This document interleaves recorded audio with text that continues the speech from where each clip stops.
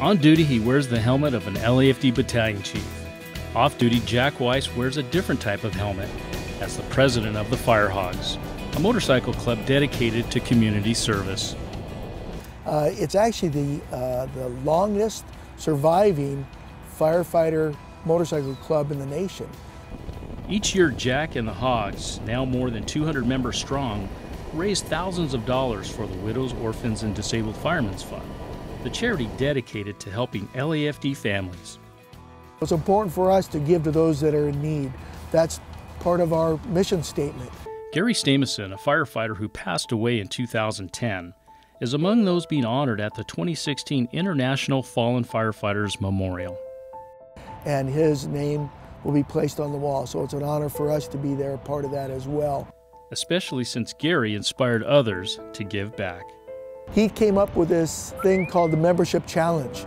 Uh, since it's now called the STAMI Challenge. So what we do is we challenge all our membership to at least get $200 worth of donations.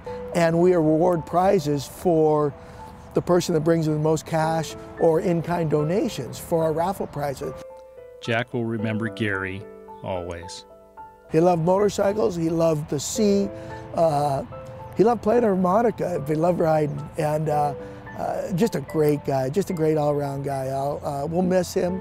It's firefighters such as Gary and the late LAFD captain Danny Seipert that fuel the Firehogs' desire to volunteer their time and to keep writing in tribute. Uh, it's not about the destination, it's about the journey. And that journey is made up of, of those people you ride with.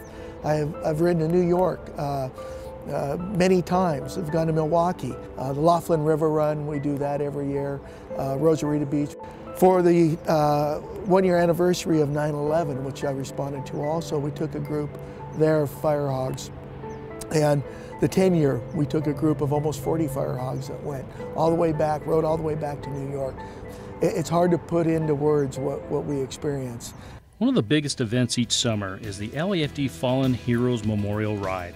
That kicks off in the morning at the LAFD Museum in Hollywood.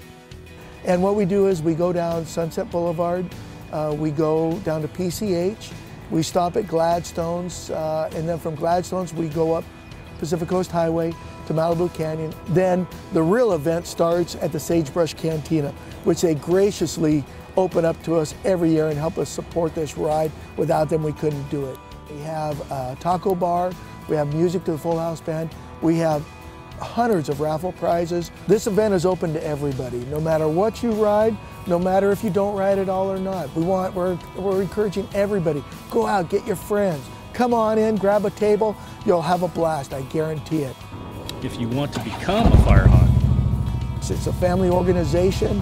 Uh, we encourage those like-minded individuals that are enthusiastic professional firefighters, active or retired, give us a call, go on our website, you can join as well. As a national organization now, we're looking for other chapters uh, from other agencies. Get five riders, apply, and uh, you can start your own chapter.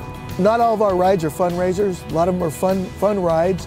Uh, every year we do a number of rides just for the fun of it to get the group together and go some great places. To learn more, visit firehogs.org.